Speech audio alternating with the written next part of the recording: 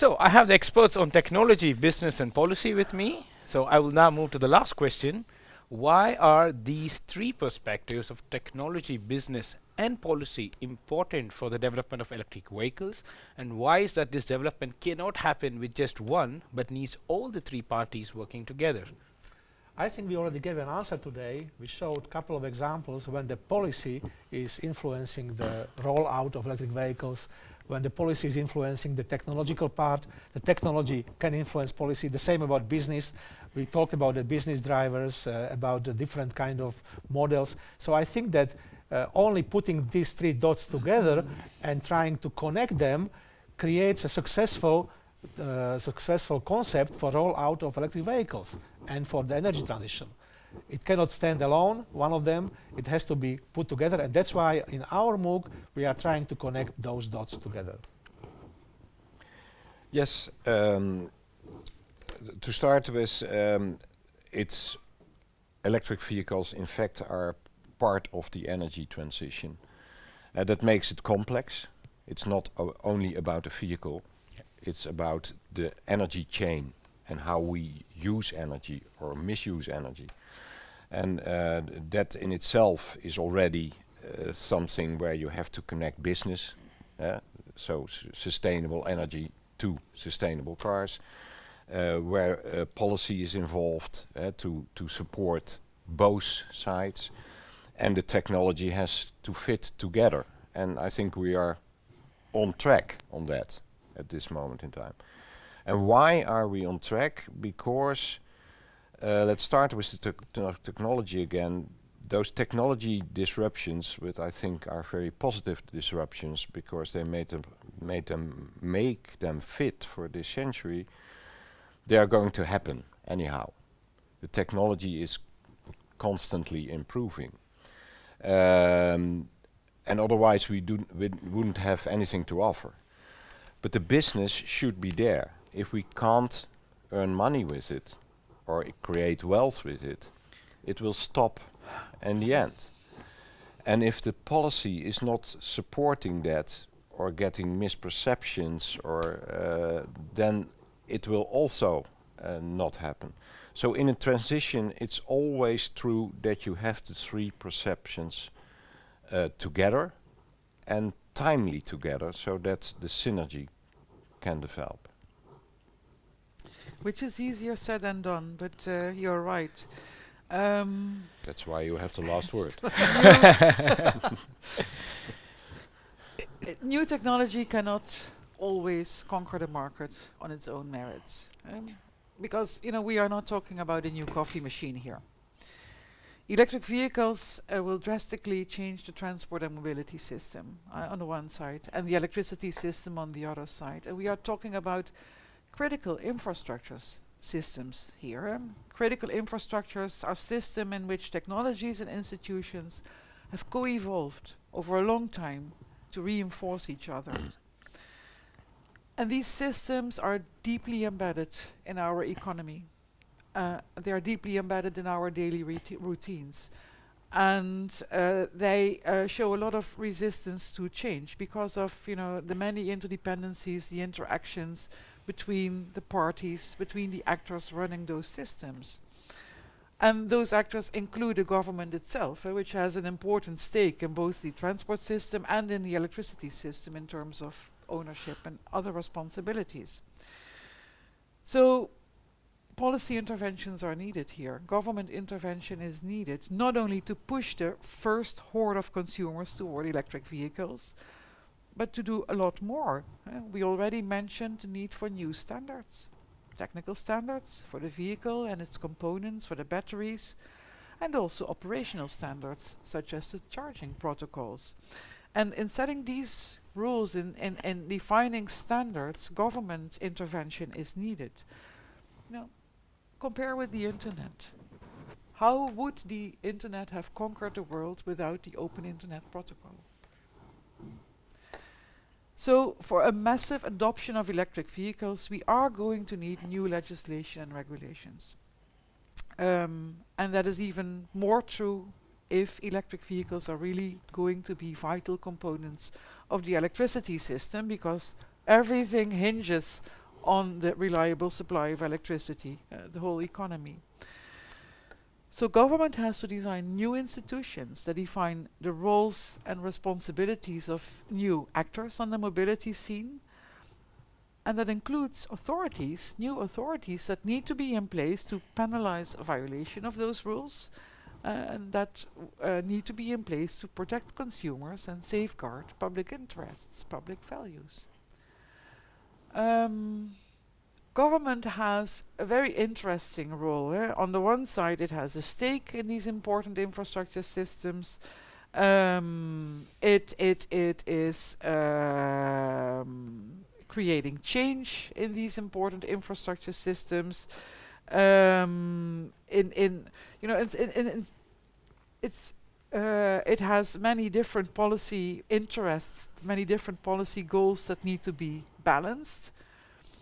Um, and uh, as we will show later on in this course, um, it's uh, it's not always uh, easy, and different governments make different choices here.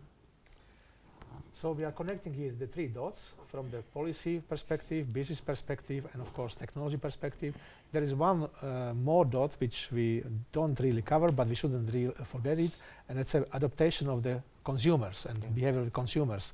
And I would like to mention a few bizarre examples. I read some demands like electric vehicles should make some noise, not to scare people. This is a Yeah. demand Yeah. which is, in my eyes, uh, not really uh, plausible. I compare it to the uh, to the beginning of the century, of the 20th century, when before of every combustion engine vehicle, some man with the flag should go walk and uh, warn the people that there is a vehicle coming. And uh, there were complaints that the horses are getting scared, and whole society was really unhappy with the rollout of the vehicles. They got used to that. So I think the similar thing we will get also here, that there are many things which is completely different and new, and adaptation from the consumer point of view is also a very important factor for the rollout of the electric vehicle. And I think this point is also uh, something which we have to address in all three parts. It's not really mentioned in the in the teasers, but we will try to address it in our part.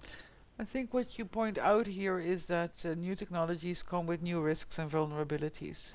And one of these new risks and vulnerabilities has, uh, for instance, uh, relations with cyber security uh, risks, um, uh, which uh, are already, um, um, I think, quite, quite, quite urgent in terms of needing to be addressed, um, and will be even more so when we move to self-driving vehicles.